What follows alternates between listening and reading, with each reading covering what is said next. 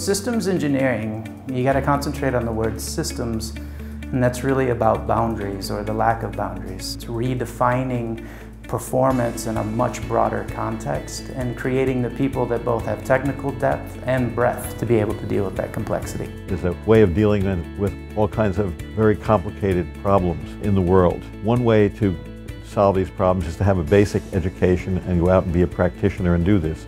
And our Masters of Engineering program is oriented towards that.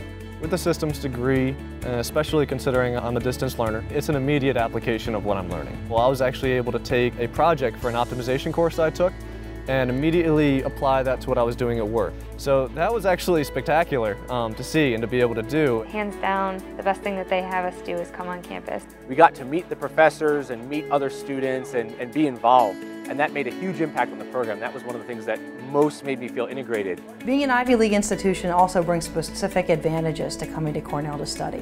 One is the level of depth you'll see across the campus in many different areas of study. The ability to have both a very strong arts and sciences, a very strong art, architecture, and planning, College of Agriculture and Life Sciences, as well as engineering that, that's a tremendous advantage to the students. Once I'm done with the master's, I'll have three years of work experience and I'll have a master's at Cornell.